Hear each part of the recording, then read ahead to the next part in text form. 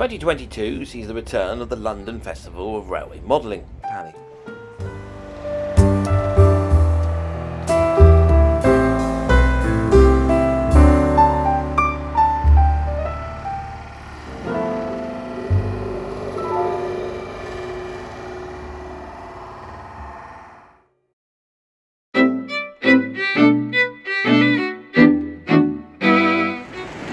Starting with the layout set in the Big Four period, we visit Scout Green Crossing as a milk train passes by. This O-gauge layout is based on the crossing that was situated halfway up the Shap Incline on the West Coast Main Line in Cumbria. The Seven Earthworks are heavy goods along the line.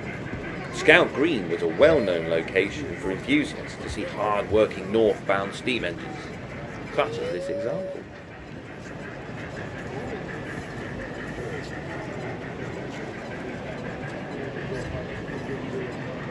The layout itself is 18 foot by 16 foot 6, just the right size to fit in a double garage.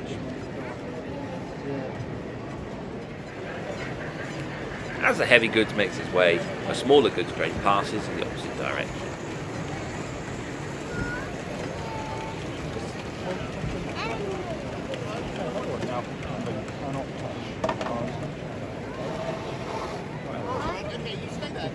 These are, these are not for planes. Harkness is an EM gauge layout, set to represent the Belford to Harkness Light Railway, which connected the East Coast Main Line at Belford the small seaside village of Harkness to the north of Bamburgh.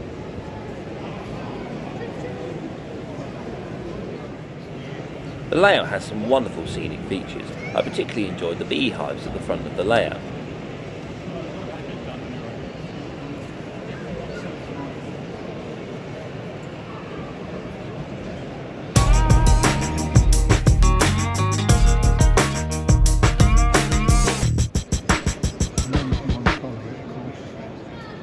Now we move on to the British Railway steam era. Our first stop is Swaynton for Mill Cliff on Sea. As a Bulleid rebuilt Light Pacific 34045 Ottery St Mary arrives at the station. Sister Loco 34043 Combe Martin arrives in the opposite direction. This double track layout is an end to end modelled in EM gauge with a small station and goods yard. It represents the southern main line in the New Forest between Southampton and Bournemouth in the early summer of 1960. There's a wealth of detail and beautiful modelling here. I particularly enjoyed the Scots Pines trees based around the bridge area just before the station. We leave the layout as the Bulleid Light Pacific makes its way towards the tunnel mouth. Well, I just need to put it I know. Right, that's, that's it. Next we visit Bolland Road and Turton Green, as a Hymek pulls into the station with a train of China clay wagons. The layout is from Ilford and West Essex Model Railway Club and is modelled in N-gauge.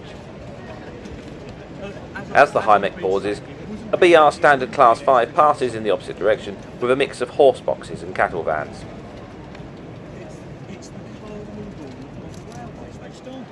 The layout includes a branch line, which we see a Class 08 shunter moving a small goods train across it.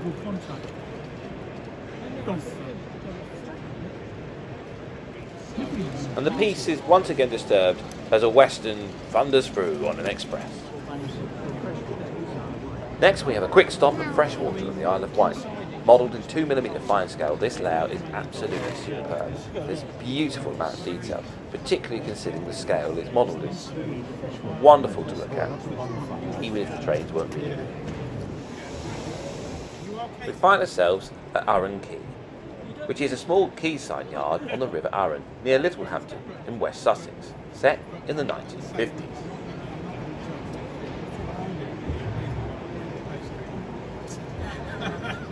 P class has just arrived at the yard and has started shunting its train. The layout itself is designed to be small so they can fit in the back of a car, which is quite impressive considering that this layout is modelled in O gauge.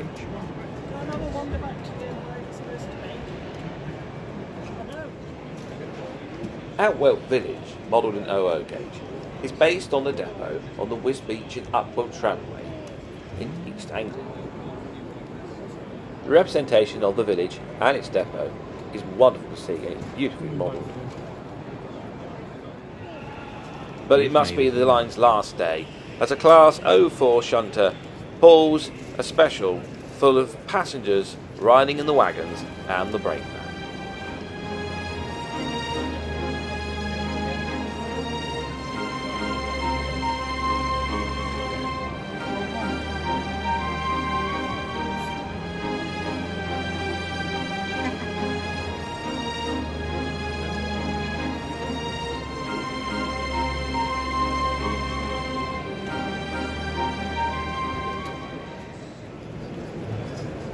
Exebridge is modelled in 12mm gauge, and we were lucky to catch it in the rays of sunlight as they came through the windows of the exhibition hall.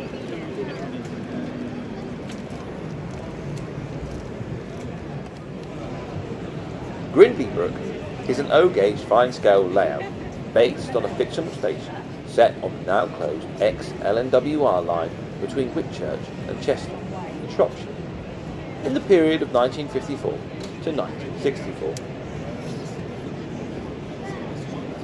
An ex-GWR pannier tank is seen shunting the yard. Being on the boundaries of the London Midland and Western regions, the trains are predominantly London Midland, but with a sprinkling of Western region workers.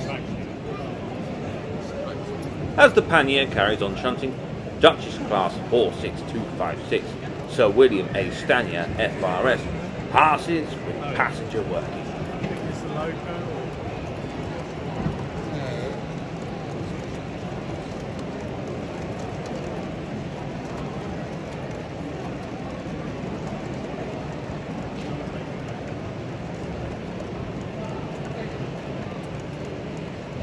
The layout was certainly designed with entertainment in mind. No sooner has one train left than another one appears. As a short while later proves when a Jubilee class passes with a parcel working.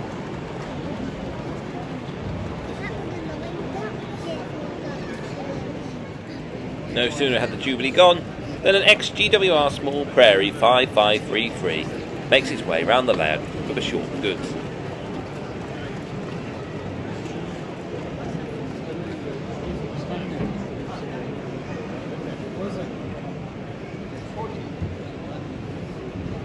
And as the short goods runs out of view, another freight passes in the opposite direction, in the hands of an ex-LNWR Bowen Cooke 082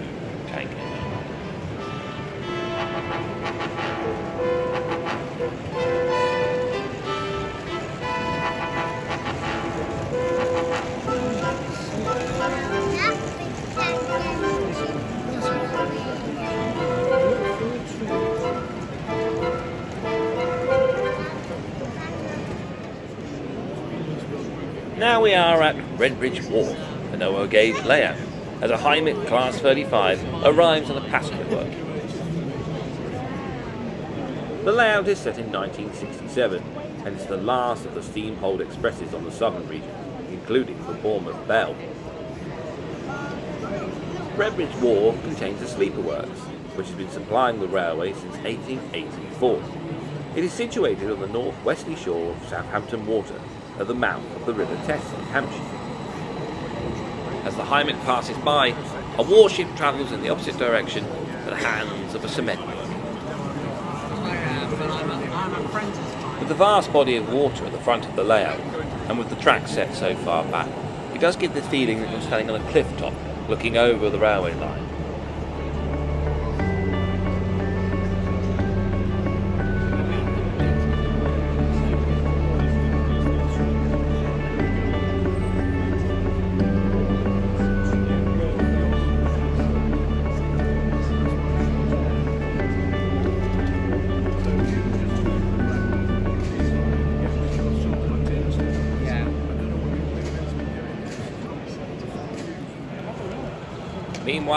The top line at Cherry Orchard, a Class 24 comes to a stand at the signal.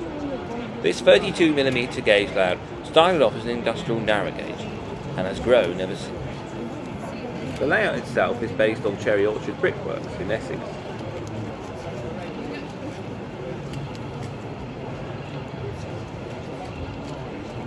The layout is an impressive 36 foot by 4 foot and depicts a narrow gauge system between the clay pits and the brickworks.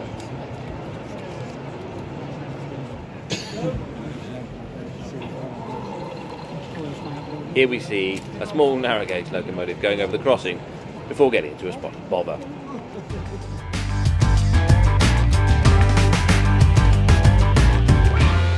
I've visited Hooper's aggregates before at the Great Electric Train Show, but this layout is so large that I've not managed to visit the entire length of it. Today we're at the depot where a Class 68 is running into the shed. Some rancid pasty. Outside the shed, Class 66135 appears to be receiving some severe attention.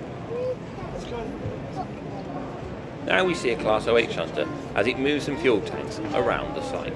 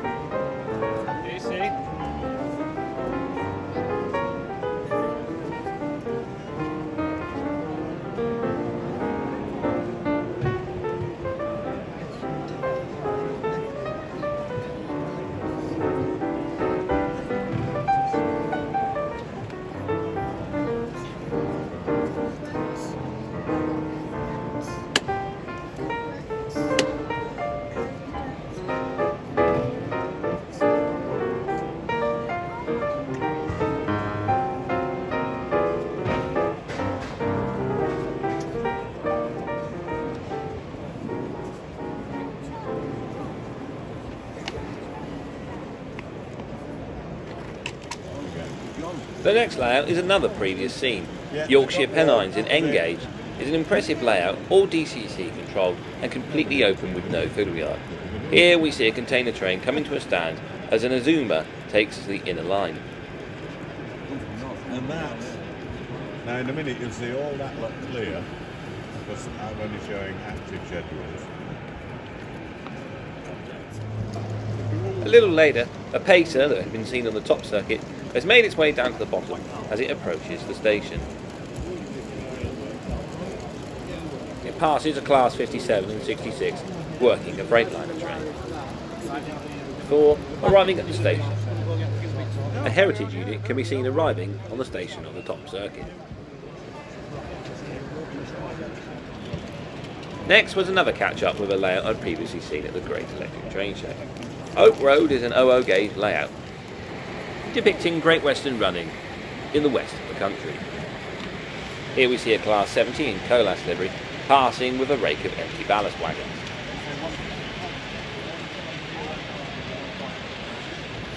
The virtual quarry in the background is a nice touch and adds that little bit of extra interest to the layout.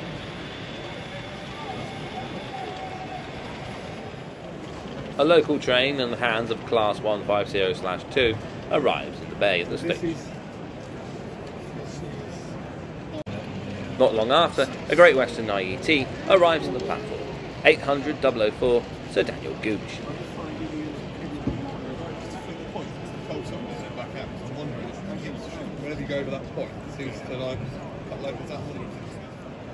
And after carrying out its station duties, the IET departs Oak Road.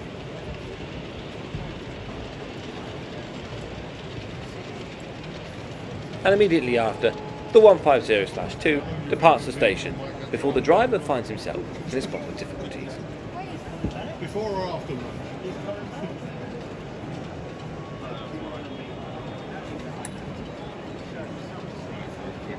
Right, give me nine.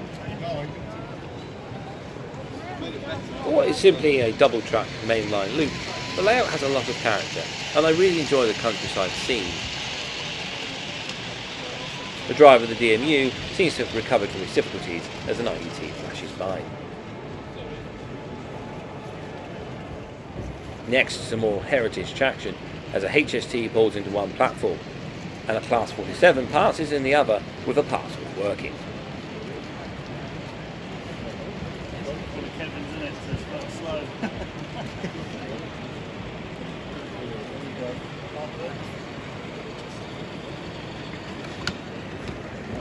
I like how Mike, who built the layout, has framed one of the scenes by having the trees gapped and spaced apart so that you can just glimpse the trains passing through. It's a very effective use of scenery.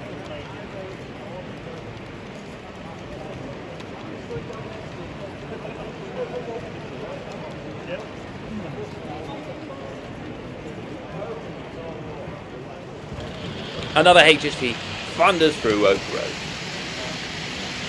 It's a sight I certainly miss.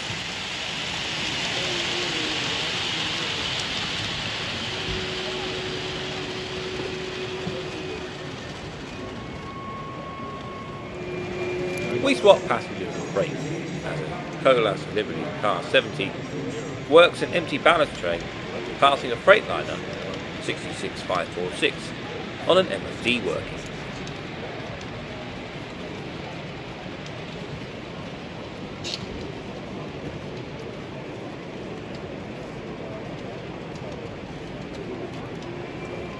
The mix of loaded war whales and war is an impressive sight, and I really do like this train.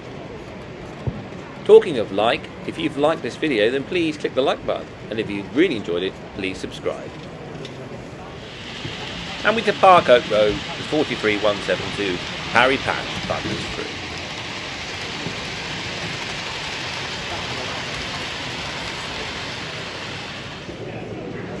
Gravelly Oak is an N-gauge layout. This is a small layout, 4 foot 9 scenic and 2 foot fiddle yard. Set between 2000 and 2017, is a terminus of a former GWR branch, which is still in operation for passengers on the border of West Midlands and Shropshire. Our next stop is the OO gauge layout from Deadman's Lane, which is based on the Network Rail depot in Derby. The scene is dominated by a fleet of yellow coaches and locos. It's absolutely fantastic to look at. There's a wealth of detail, including the signalling centre in the background. Here we see West Coast Railway's Class 37s coming to a stand at a red signal.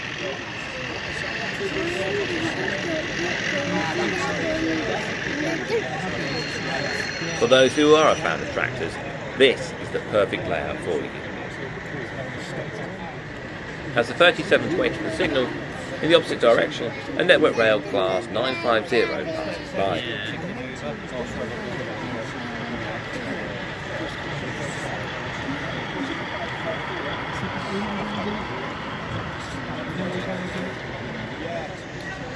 A short while later, and the tractors have now got the road to.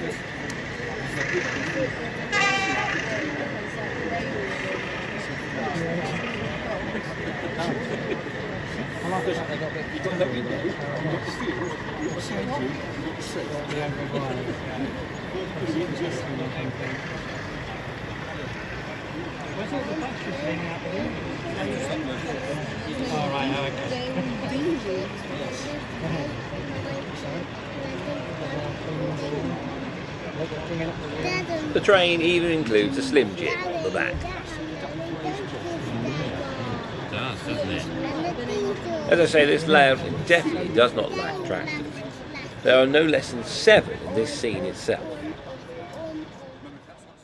Superb. There's more tractor action as class 37402 in large logo blue passes by with Caroline, the inspection whilst on the main line an East Midlands service flashes by.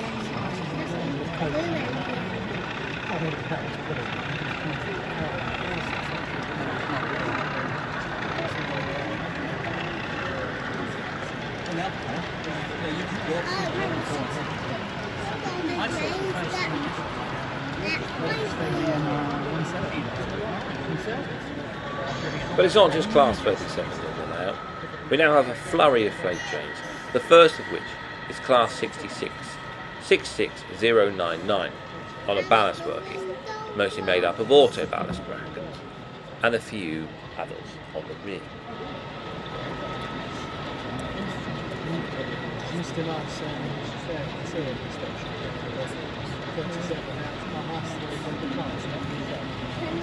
out out. Came out the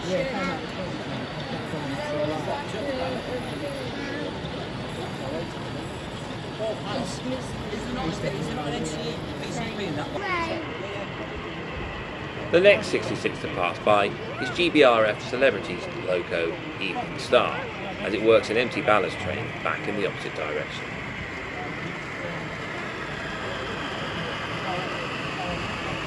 Masters in this. And, uh, like, what's the booking? It's the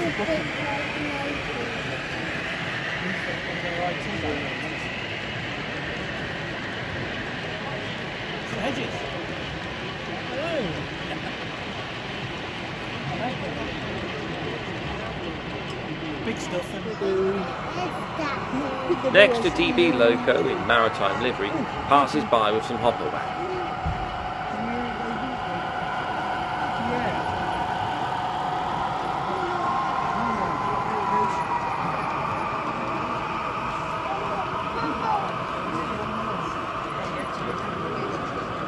As it passes by, I thought I'd take the opportunity to get a better view of the layout, particularly like the Eurostar car that's parked to the siding. A nice little detail. Other traction on display is a Class 31 and a Class 73 parked up in front of the depot.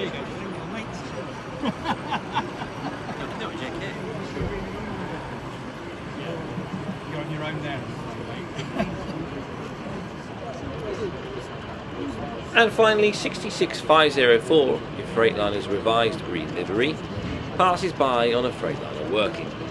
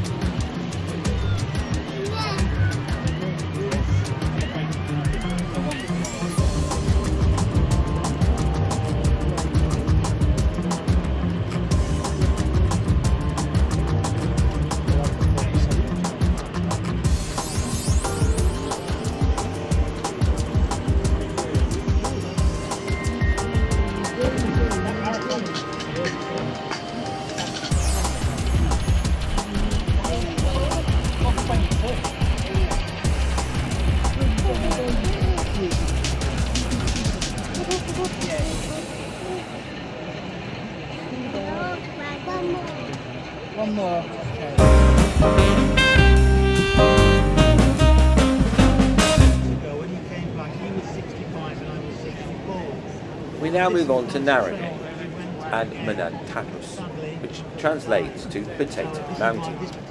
The layout is a simple circuit which runs around some lovely scenery. Here we see a double Fairlie working a mixed train around the layout.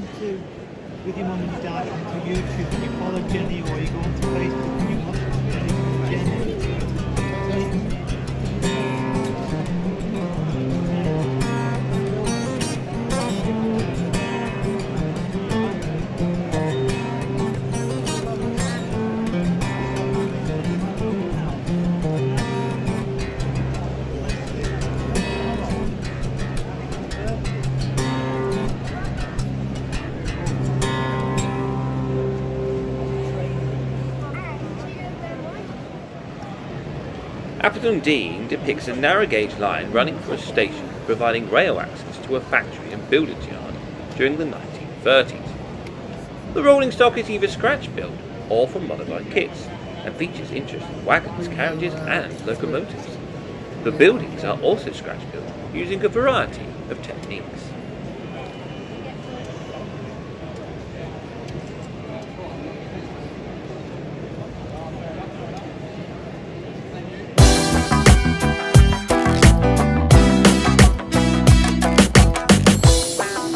And now we move out towards the continent. Firstly, we visit America. This is a DCC Concepts demonstration layout and wasn't technically part of the layouts of the show. However, its sheer impressive size was something I felt I had to show you. Here, a shay-geared locomotive with two lumber wagons works its way up the incline. This is an impressive sight.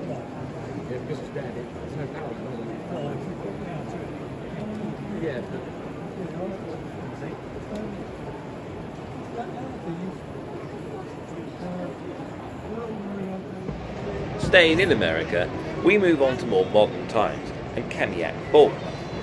This 20 foot by 6 foot layout features a fictional town in the Palouse area of eastern Washington state in the 1970 to 1952 period, showing the early stages of the Burlington Northern Railroad. The layout features some wonderful vibrant autumn colours, or fall, as they say in America. Loco 1976 is working a caboose and flat cars around the yard, whilst a switcher with another caboose grain hoppers arrives a little later.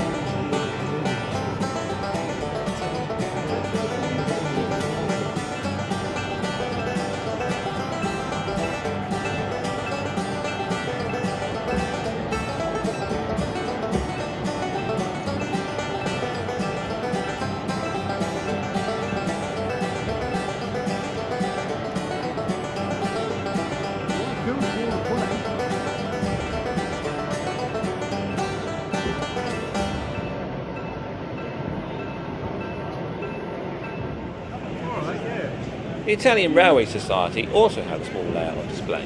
Although not technically one of the layouts that was on show, it was an absolute delight to look at, especially its compact size and the fact that it was a mainline depot squeezed in what was possibly around 4 foot to 2 foot wide.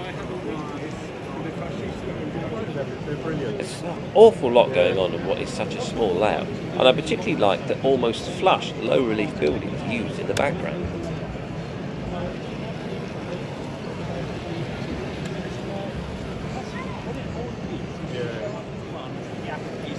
We move north towards the Alps for the Swiss Railway Society's layout, Beckenvick. Beckenvick is a purpose-built HOF exhibition layout. The layout displays a wide range of prototypical trains, anywhere between 1980 to 2015. It's a wonderful little layout, and so much to see on it. But of course it's far more enjoyable when we get to see some trains run on it.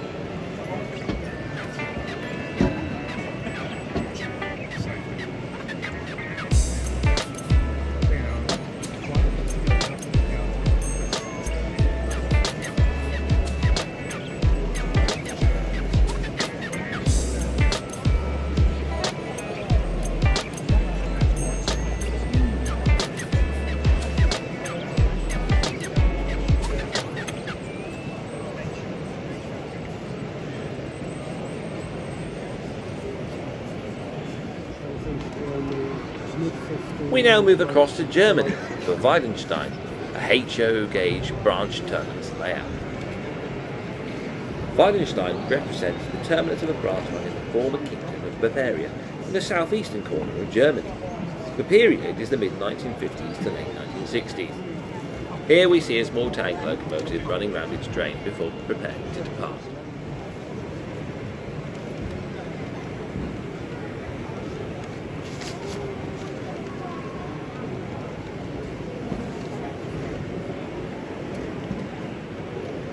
Modelling period allows steam locomotives pre-World War I to be seen alongside more modern motive power.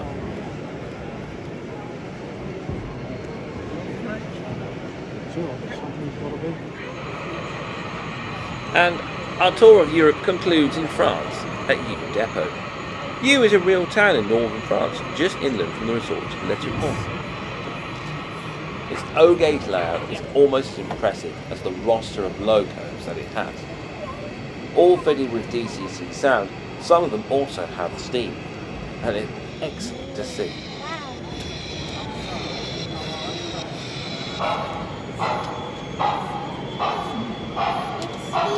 It's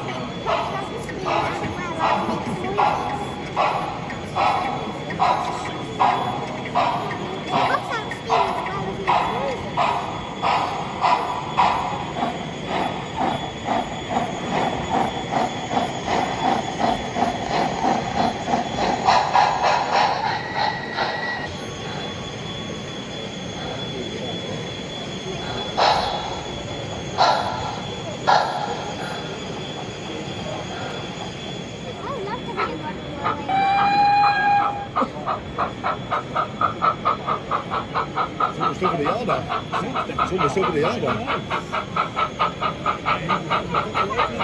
We have several, indeed.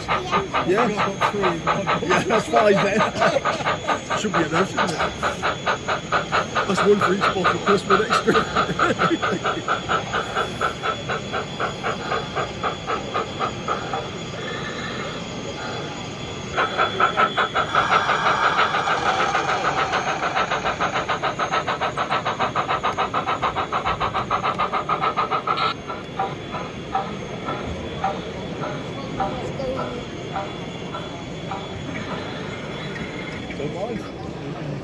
We now move across to China and Beijiao, a HO gauge layout depicting steam as it was in 2001. Here we see a heavy drain making its way up to the steelworks with a 1 in 30 grade, so has the assistance of double bankers on the rear.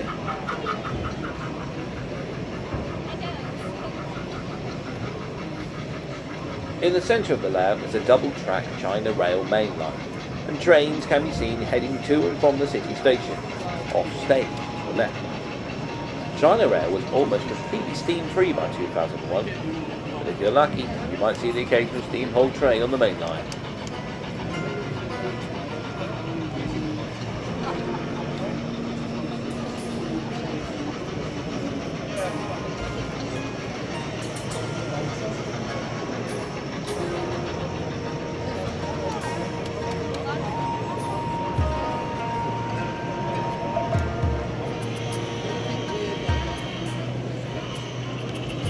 Foreground is a bi-directional secondary line, which in 2001 was still predominantly using steam.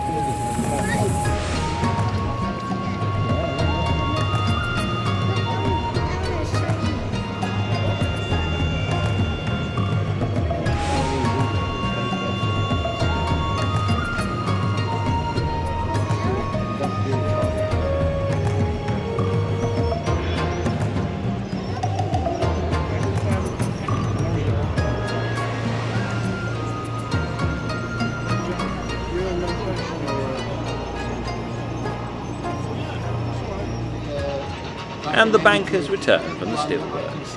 Yeah. All. Yeah, fantastic. I'll give you my email address. Yeah, sorry. Yeah, something.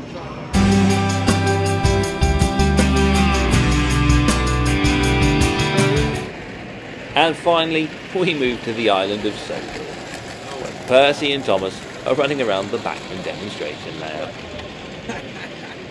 Before returning to Outwell Village to see a special visitor.